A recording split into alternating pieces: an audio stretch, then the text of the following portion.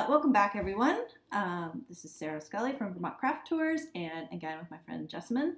So earlier this week, um, you may have seen our video. I asked Jessamyn about her hobby of making mossariums, and today we're going to show you actually how to make your own at home. And we'll include some written instructions too, in case we go too fast or accidentally skip a step or something like that. But um, what do we need? Good news is not much. So, first thing, moss. You get it from the woods. You can just go wandering around. I kind of sometimes peel it off of logs or rocks or whatever. The more you can get kind of the a little bit of the dirt that the moss is in, you can kind of see underneath here. Yep. Uh, the better, but you don't need like a whole chunk of, you know, it's not a plant. You don't need a whole Root ball. root ball underneath it. Okay. So some moss, have it be, you know, damp, doing okay. Yep. Next thing, jar to put it in. And one of the things I was telling Sarah about earlier is the great thing about these jars is you can use jars that you can't really use for anything else. Like this one, I think used to have like a stinky candle in it, Mhm. and so you can't put food in it because. Ugh. Mhm. But moss doesn't care. So a jar and a jar that has kind of a lid that closes. Mhm. Because one of the things about mossariums is they're really sort of an enclosed environment. So you don't just want to. The ones that I've had that have been like the least successful have been the ones that looked amazing but didn't have a top. And Mhm. so all the humidity goes away, they dry out, they die. Yeah. Okay. So it's hard because they're not like a normal plant where you Mhm. put it in the window and Mhm. everything's amazing. You put Mhm. water on it. They really go in a jar and then they kind of go in a corner. they're in their own environment. I keep mine in my guest bathroom. It's a nice thing for the guests to look at while Yeah, they're in there, and yeah, it's kind of a They burn actually if they are Mhm. in a window. Yeah. So a little challenging. Good to know. All right. And then uh, next thing is rocks, which can be kind of anything. Mhm. Um, it can be gravel from your driveway. It can be uh, aquarium rocks. Fancy it can be rocks, yeah, yeah. fancy rocks, no fancy rocks, big rocks, little rocks. The only thing the rocks are there for is to kind of create a little bit of distance between sort of the bottom of the moss and what your where your water is because if the moss is kind of sitting in the water it can get moldy and kind Mhm. of gross Yeah. so it lets the moss kind of take up the water through the rocks without sitting in a puddle of water hmm Okay. and then last thing is and i'm not even sure if this is necessary but it's almost like a uh, kind of a dumbo's magic feather for me Mm-hmm. but um activated i don't even know if it's activated charcoal Mm-hmm. it's basically this kind of stuff hmm which I got by buying an aquarium filter at the hmm Belmains and then cutting it open and just getting Okay. a little charcoal out of it. You can also get it from the drugstore Yep. or a bunch of other places, but this keeps um, mildew and kind of mold from growing. hmm And then last piece, uh, Spanish moss or some kind of dried moss. And mm-hmm. you can get this at like any craft store, Mhm. basically, and it's really inexpensive. Yep. But it goes floor supply places Exactly. too. Yeah. It mm-hmm. goes on top of the rocks. The moss goes on top of it. We'll show you how it all goes together. But mm-hmm. you can, you know, this is sort of a lifetime supply when Belmain's just going out of business. I just, woo, I'll take it all. I know what to use that for. Yeah. Yeah, Right. so it's a little bit weird, you know, hey, I heard you like moss, so I got you some moss in your moss so you can.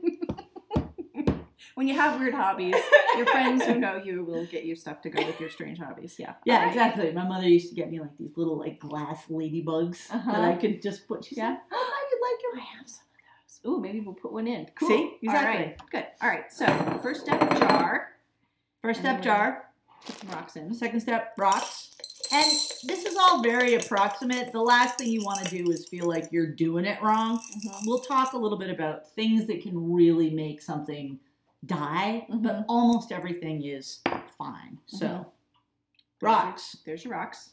A little bit of charcoal, just like I said, I think it keeps Mm-hmm. the rot away. I, I don't honestly know. Like, I've had email correspondence from people who were like, ah, it doesn't do anything. I feel like my mossariums do better with it. Mhm. And Yep. then the Spanish moss, you can just sort of cut a chunk off of it.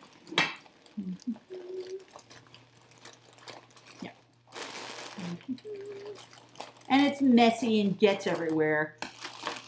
So basically, a piece of it that can kind of go on top of what you've got, and it'll it'll kind of go down more Okay. once everything gets wet. Mm-hmm.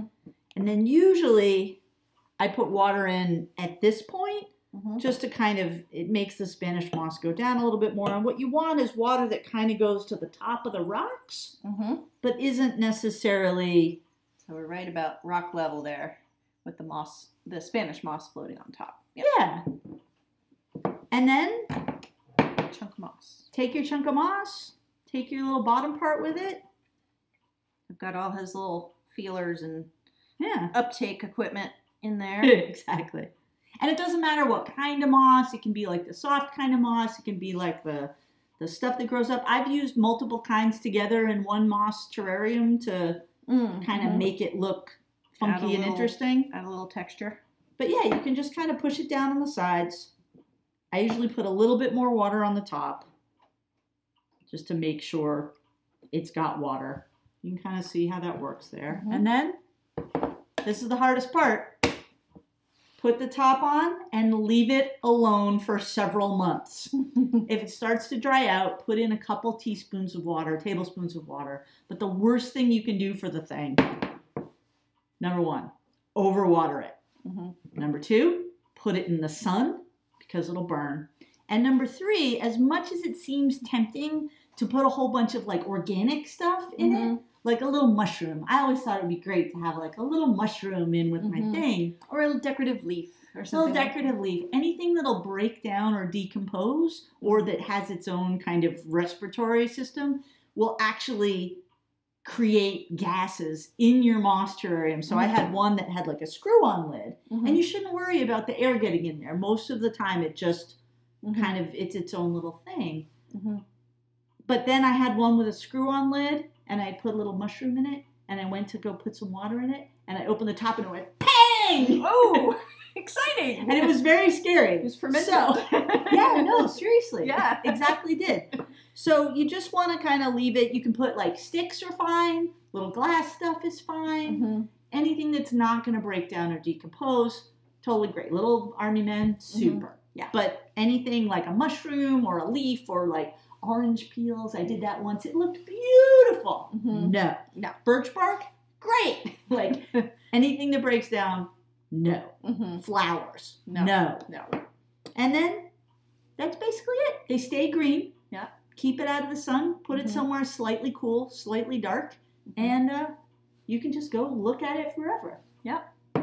So, thanks for joining us. Get out there and make a mossarium with uh, your found materials. That's that's the other thing I like about this hop is that you don't have to spend a lot of money on it. You know. No, I mean I get a rocks leftover for my driveway, and- yep, some rocks out of your driveway and some moss off of a log, and you're good to go. So. and I don't even think you need necessarily the Spanish moss, but I like it because you know for looks and also Yeah. for Air volume. circulation. But I think you can use shredded newspaper. Honestly, Yeah. and it'll do the same thing. It just doesn't look quite as cool. Mm-hmm. Yeah. Cool. All right. Well, I hope you enjoyed this. Um, this was our first time doing a tutorial, so uh, thanks, Jessamyn, for Cool. being my guinea pig. Sure. And uh, and uh, let us know if you take uh, if you do a mossarium, take a picture and send it to us. Right. Sure. And you can read more about the whole process. I have a little website at mossarium.com. Okay. Good. Yeah, we'll link to that as well. Thanks for joining us. Thanks.